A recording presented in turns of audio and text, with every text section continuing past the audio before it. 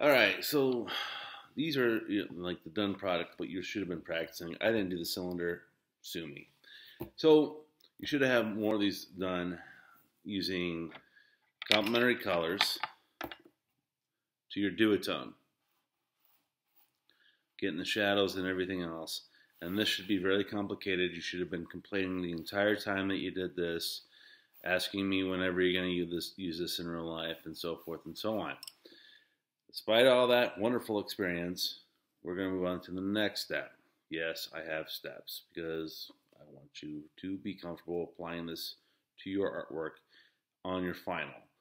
Uh, I was thinking about it, and I've seen some some people struggle at times when we go through this, and I was trying to figure a way to refine it down so that you could practice and get a greater understanding.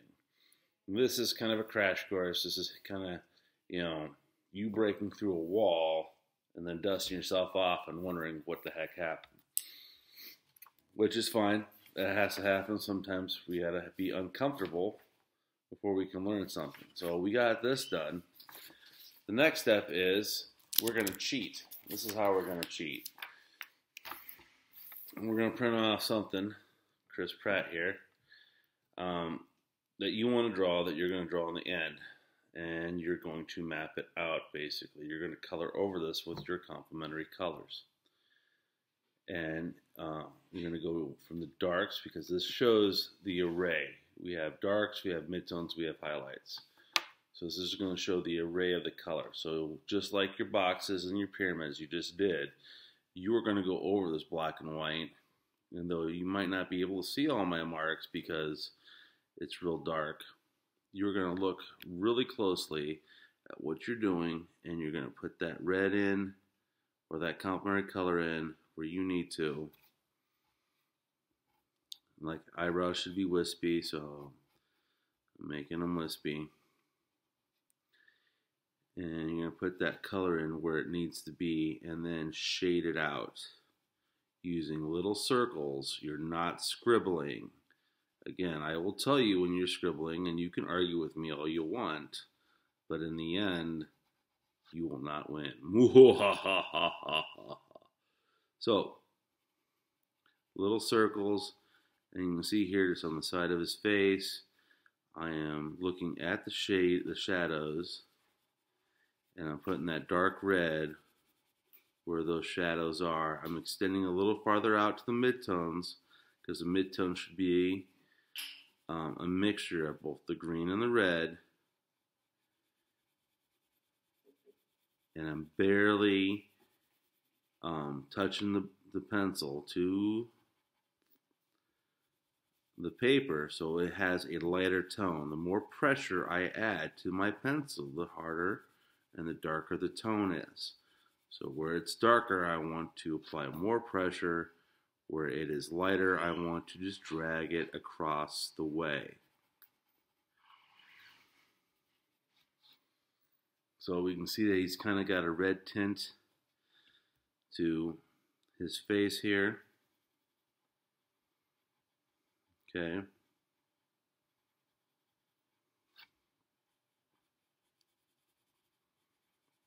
In the shadow, and even in his eye.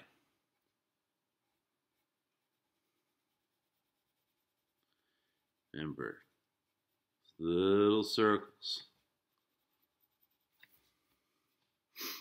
And go with his hair, real dark here. I'm really pressing hard. This is lighter, so I want to keep the red out of where it's lighter in his hair. Put the green in there so the green can still peek through. And we can definitely see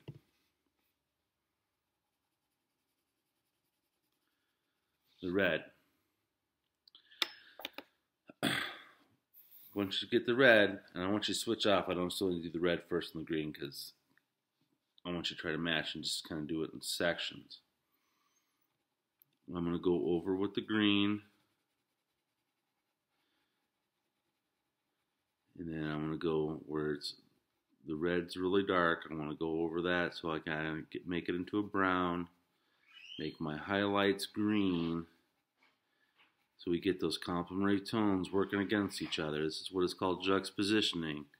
You should all know that I hate the word juxtapositioning because it's often used wrong. But we're getting that so we can get a 3D feel. And this is how you're going to cheat. Are you going to be as good as me right here? This is the first time that, that I've done this, but are you going to be as good as, as I am on this video? Probably not. Some of you are going to have varying success rates. That's okay because it's about practicing. It's about understanding the concepts mentally and physically. It is not about mastery. You never truly master anything, you just get kind of good at it. All right? I am not a master of art. I'm just kind of good at it. So, and we're going to go over that and get the shadows, the midtones, and the highlights. You can see here I got a real light tone where the highlight is. I'm going dark to light. I'm adding the color. I'm doing circles. Okay. Even the hair, I'll go dark there. So you can see a little bit of the green.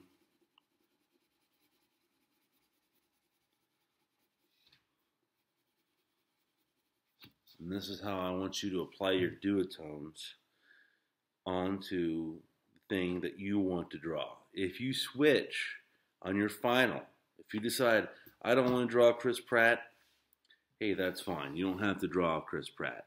But understand that you practice doing Chris Pratt. So on your final, you're going to have a higher chance of success than if you were to switch to something completely different, like a car or an airplane or uh, a fuzzy cat, make sure that if you are going to switch, you have a like item for your final because you will have a like experience.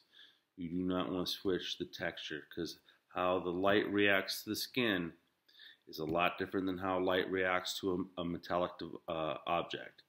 How the light reacts to the skin is a lot different than how light reacts to hair. the intensities, the gradations, they're all different. I want you to just get an understanding and be successful. So don't try to switch it up too much. Make a decision, run with it, good, bad, or indifferent. Doesn't matter what decision you make, as long as you stick with it and you see it all the way through. Okay? Again, green, small circles. You're not scrubbing. You are not scribbling real small circles and the pressure depends on your location.